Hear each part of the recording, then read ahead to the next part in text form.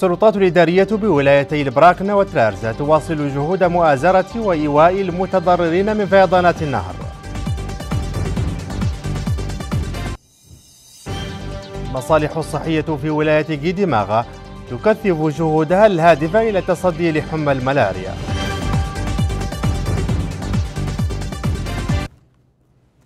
أهلا مرحبا بكم. نبدأ نشرة الولايات بنافذتنا اليومية المواكبة لشهود مؤازرة المتضررين من ارتفاع منسوب مياه النهر في ولاية الضفة. لكن بعد الفاصل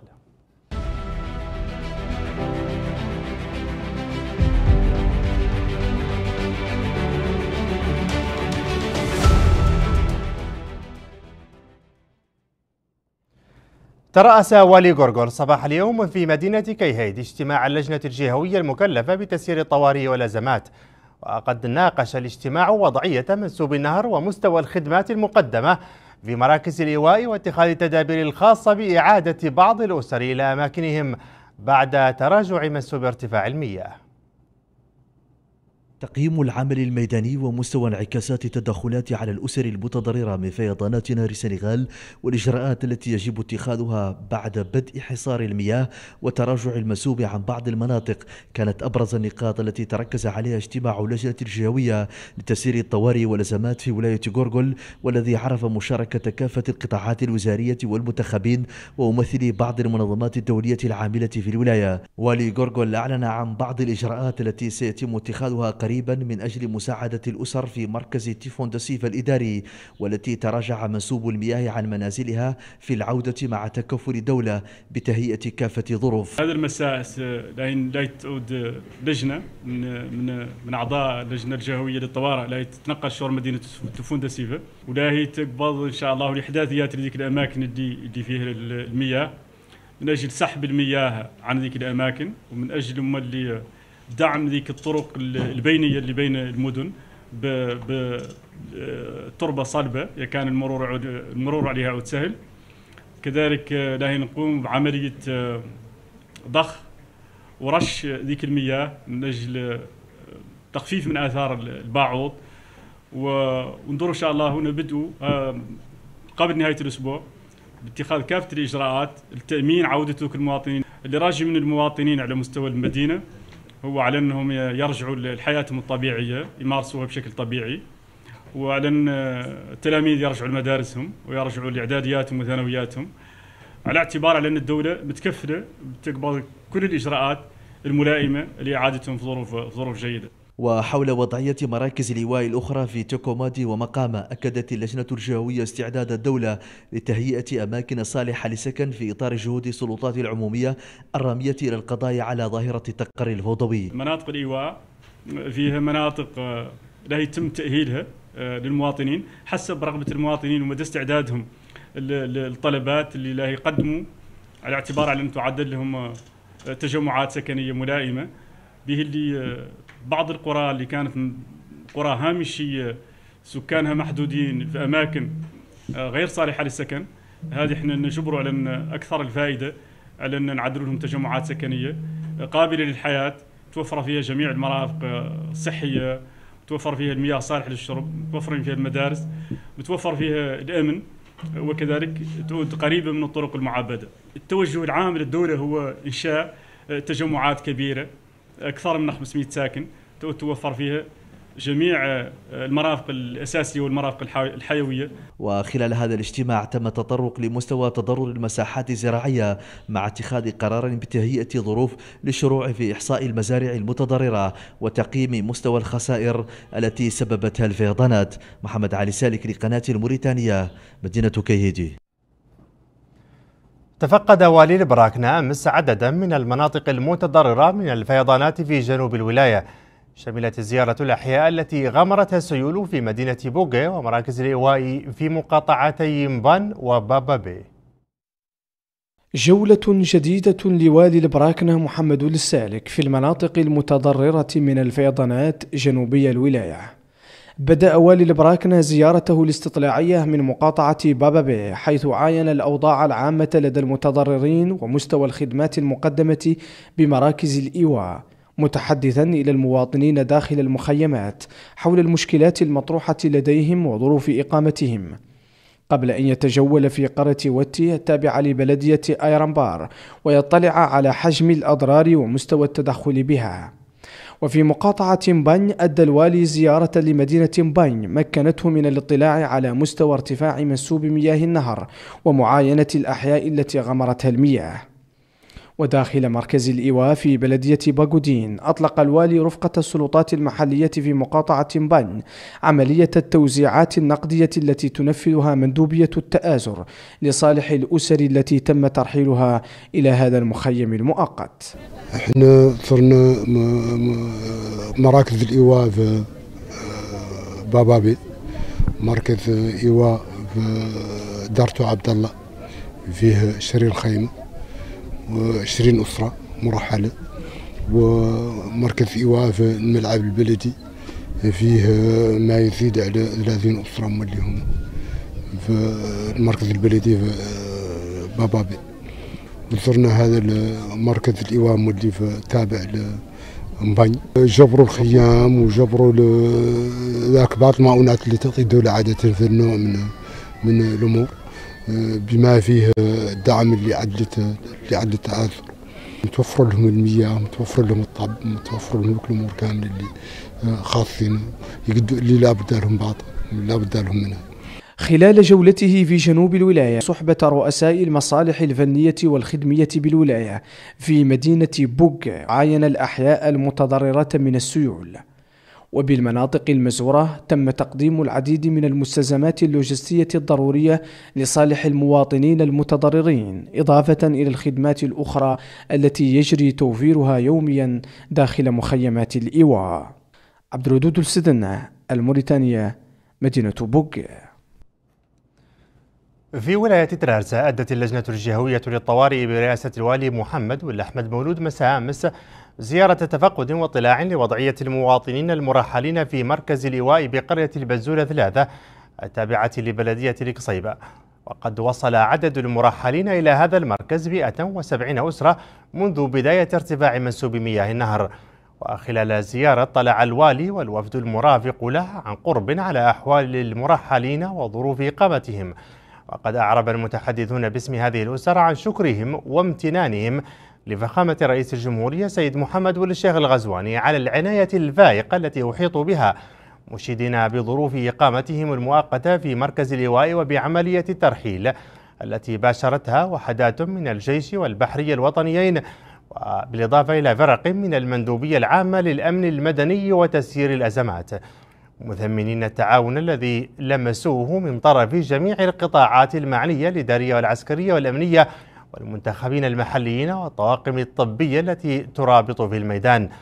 الزيارة شملت أيضا الوقوف على مسار النهر حيث لاحظت اللجنة الجهوية للطوارئ أن وضعية النهر مستقرة بالنسبة لمقاطعة تيكان وفي تراجع بالنسبة لمقاطعة روسو مما يبشر بانفراج قريب وعودة المياه إلى مجاريها.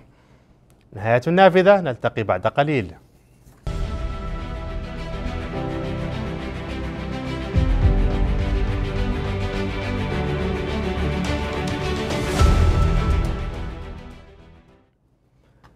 عقدت اللجنة الجهوية لليقظة في ولاية الحوض الغربي اجتماعا ترأسه والي الولاية أحمد مامادو كلي وذلك من أجل تسريع عمل اللجنة والنهوض بالعملية التربوية عن طريق متابعة مجرياتها بما يضمن الوصول إلى نتائج ملموسة.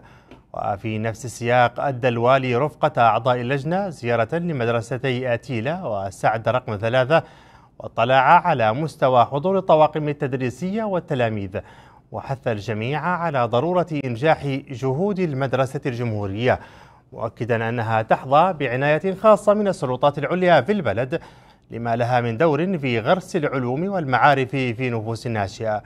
ودعا الوالي أباء التلاميذ إلى القيام بدورهم في الاهتمام بإنجاح العملية التربوية عن طريق العناية بالأبناء وإبداء العراقيل لإيجاد حلول لها في الوقت المناسب.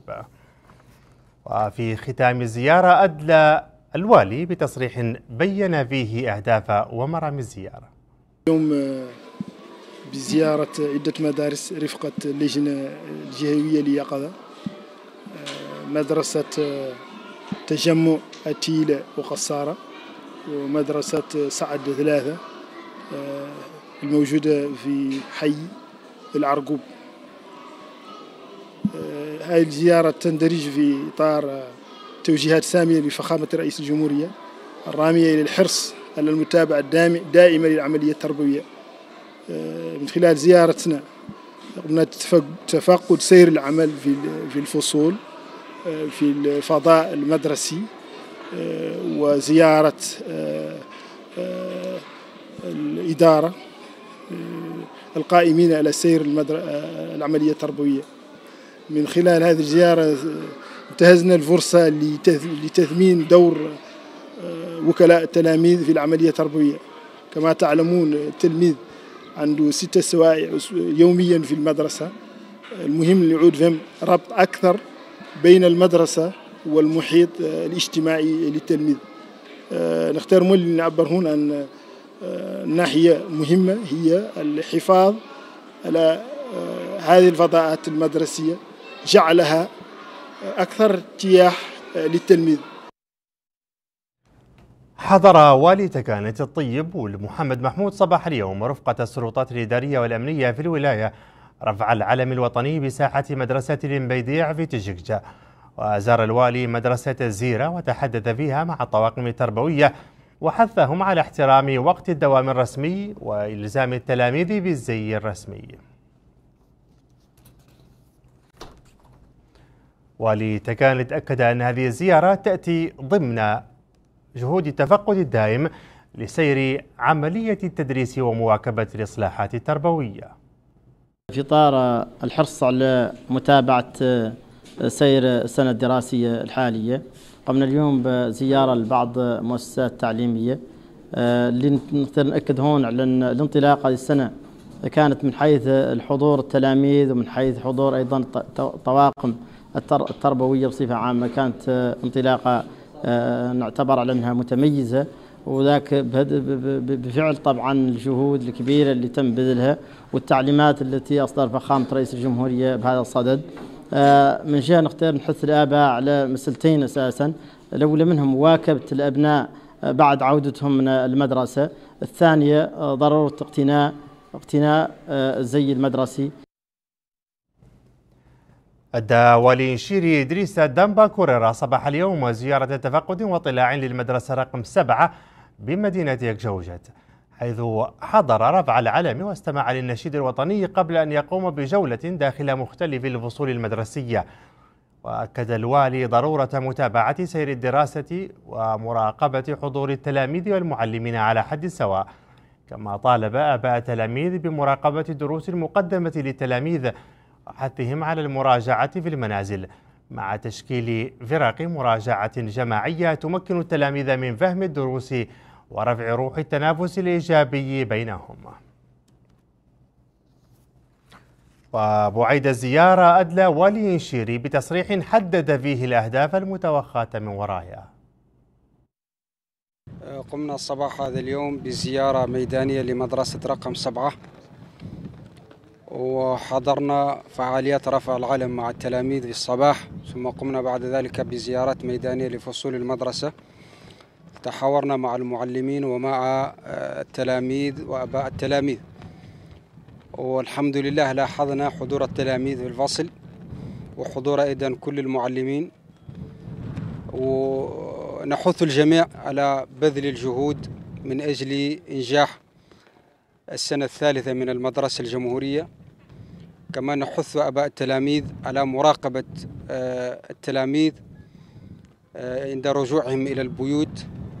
والتزام أيضا بالمراجعة وخاصة المراجعة الجماعية. وأيضا نحث أيضا المعلمين على التزام بالمنهج الدراسي وعدد الساعات لكل معلم. وحتى نتمكن من متابعة المنهج قبل نهاية السنة الدراسية. ونحث أيضا الجميع بمضاعفة الجهود لأنه متابعة ومواكبة المدرسة الجمهورية التزام على الجميع وواجب أيضا على الجميع. بالتالي يجب كل واحد منا أن يقوم بدوره كما ينبغي حتى تنجح المدرسة الجمهورية. نظمت رابطة وكلاء التلاميذ بثانوية الامتياز مساء أمس بمركز المعرفة بمدينة نواذيبو نظمت حفلا تكريميا للطاقم التربوي والمتميزين من التلاميذ بهذه المؤسسة التعليمية. في إطار تشجيع جهود التلاميذ والطاقم التربوي بثانوية الامتياز بنواذب يأتي هذا الحفل لتكريم المتفوقين من التلاميذ في العام الدراسي بمبادرة من رابطة آباء التلاميذ بهذه الثانوية. وقد شمل التكريم المتميزين من تلاميذ الثانوية وطاقمها التربوي تثمينا للجهود التي بذلوها في مجال إيصال المعلومات والتحصيل المعرفي. يسعدني أن أكون معكم اليوم لدعم وتشجيع هذه المبادرة المنظمة من طرف رابطة وكلاء تلاميذ ثانوية الامتياز والهادفة إلى تكريم الأساتذة المتميزين والتلاميذ المتفوقين بهذه المؤسسة التي حققت نتائج مشرفة بفضل تفاني طاقمها التدريسي في العمل وجدية إدارتها وجاهزية واستعداد مكتب أولياء التلاميذ بالمؤسسة.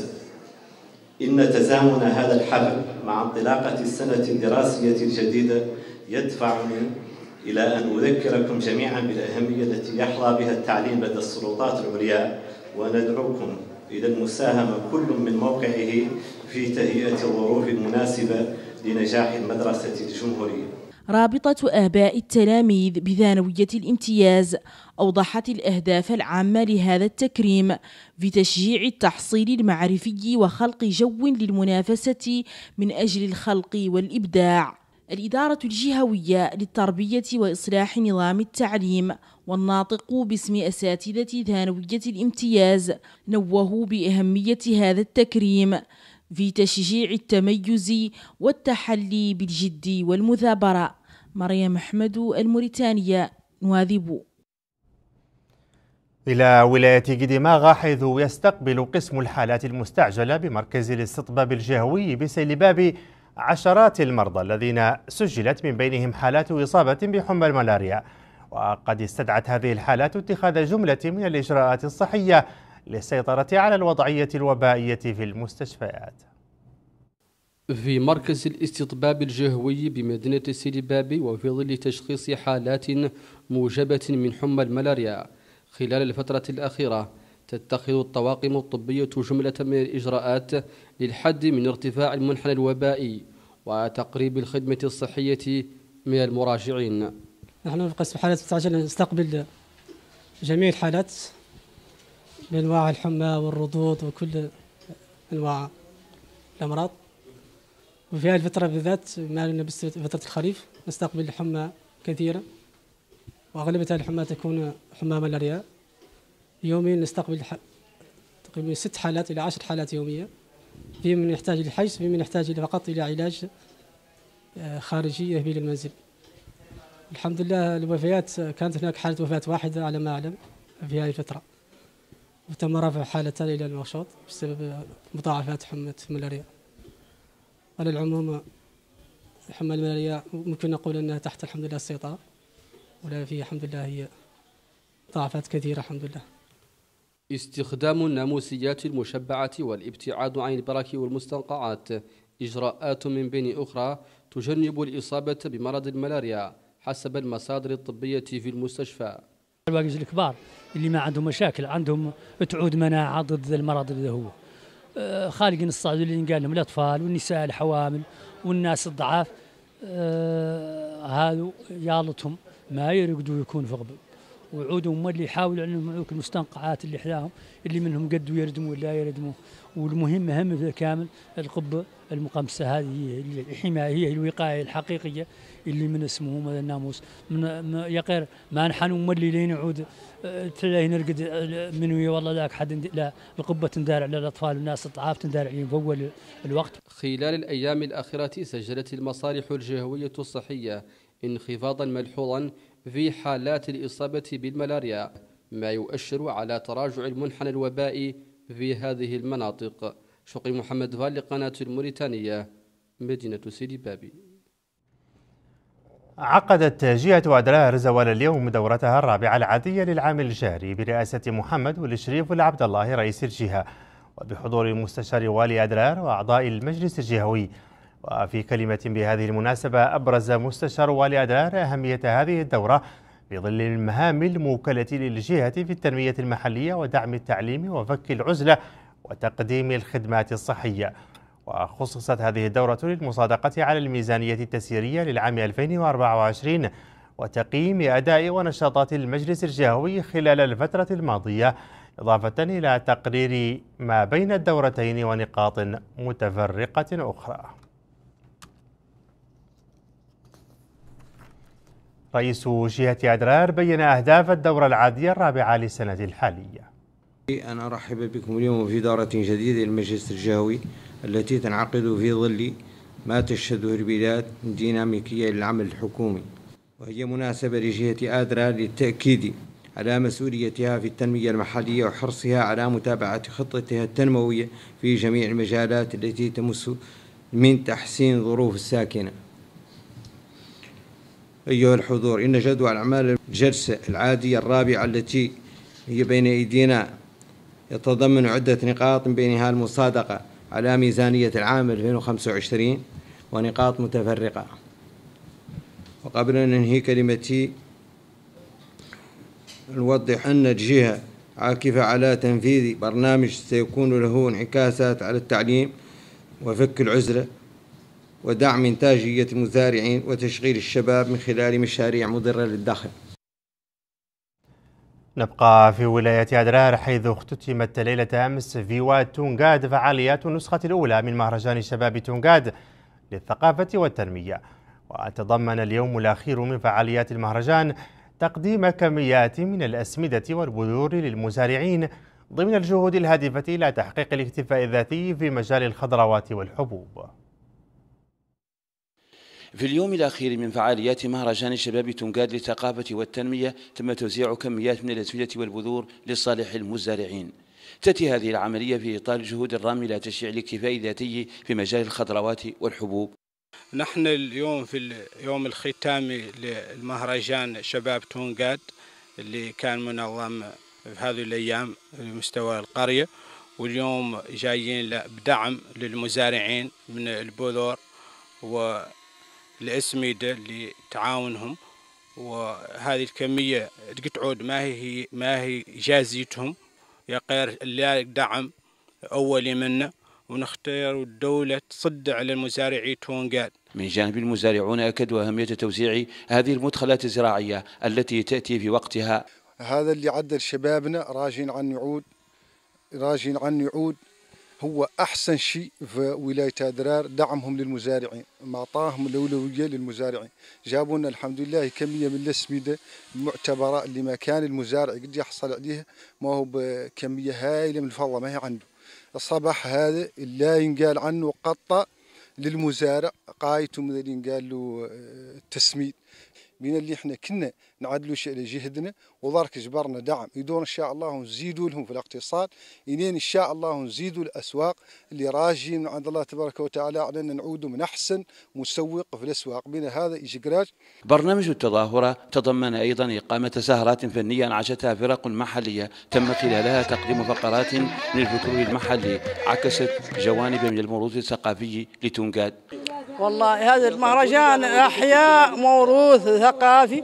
هذا المهرجان أحياء موروث ثقافي في قرية تونقاد. كان حكم له اندثر وقامت مودي العليات ذيك إياها رجعت له.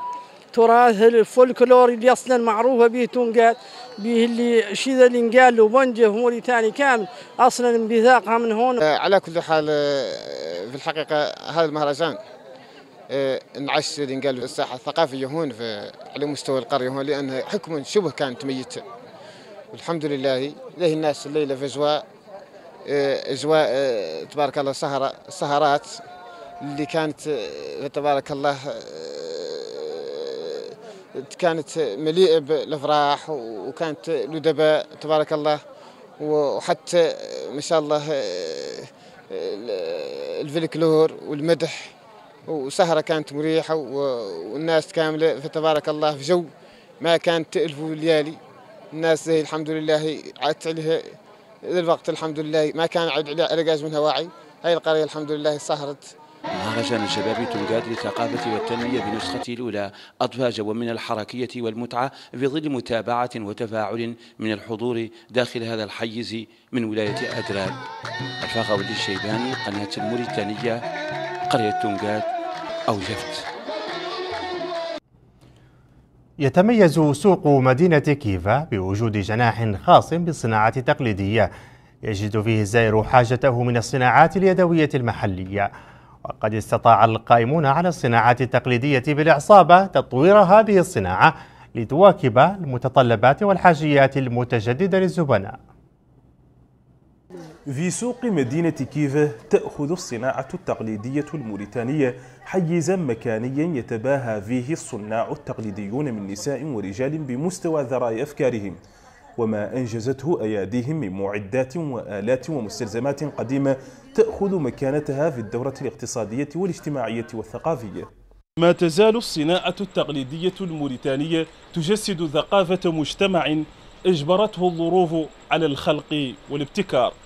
تلبية لمتطلبات دورة من الحياة تأخذ أشكالها وألوانها حسب الزمان والمكان كما تعكس الصناعة التقليدية جانبا من خصوبة الفكر الموريتاني وقدرته على الأخذ والعطاء. وتعد الصناعة النسائية في سوق مدينة كيفا أكثر الصناعات اليدوية انتشارا نتيجة لإقبال ربات البيوت عليها. ورغبتهن في تزيين المنازل بما تحويه من أواني ومستلزمات. صناعة تقليدية آه، في ولاية العصابة آه، لا نقول لكم هون إنها متوفر في كل شيء كامل كل شيء كامل موروض متوفر في الصناعة التقليدية في ولاية العصابة لا شغلة النساء ولا شغلة الرجال. والصناعة التقليدية هون أنا هون نحتسب أنها هي هي منتشأ موريتاني موريتانيا انتشأت على شيء قالوا الصناعة التقليدية بداية من عند الخيمة للوح للرحال للخبطة لجميع منتجات الصناعة التقليدية إحنا عندنا الآلات اللي ينطلبوا يوميا يطلبهم الخارج بين اللي مطورين الشغلة الشغلة التقليدية والشغلة الحديثة. بالنسبة لنا بولاية العصابة شاكرين الرئيس محمد وللشيخ الغزواني اللي هو دار الروح في ينقال قطاع الصناعة التقليدية. في المقابل ما تزال الحرف اليدوية لدى الرجال مقاومة كل عوامل الانذار وذلك بإشراف مباشر من رجال ورثوا المهنة عن آبائهم وظلوا متمسكين بها متشبثين بتفاصيلها وأصالتها. أصلا والدي عدلها وعايش فيها وباوط عليه الحمد لله في السبعينيات حامد المولان وشاكر. ومن ذيك الساعة لا جاي نقدمها. عدلت معاها ياسر هاني. شو عندنا شو نقول للزبرة؟ وعندنا الحانوت وعندنا القادوم نعدلوها البوادي هون. الريف هون كامل الحمد لله. ونعدلوا آلات الحريثة كي واجيل وكي اللواح وكي السكين وكي ذا كامل اللي اللي يصرح الحراثة ونعدلوا ملي الشغلة الثانية اللي تعدل تعدل المشارع. مؤخرا لفتت الصناعة التقليدية على مستوى الأعصاب انتباه بعض الشباب في مدينة كيفا والتحقوا بالركب من أجل الاستثمار في المجال لتوفير حاجيات السوق من هذه المستلزمات سبيلا إلى خلق فرص عمل تمكنهم من تأمين حياة كريمة. محمد مصطفى أبو الموريتانية مدينة كيفا نهاية نشرة الولايات إلى عنوانيها الرئيسيين. السلطات الإدارية بولايتي البراكنة وترارزة تواصل جهود مؤازرة وإيواء المتضررين من فيضانات النهر. المصالح الصحية في ولاية جيدي ماغا تكثف جهودها الهادفة إلى التصدي لحمى الملاريا. للقاء.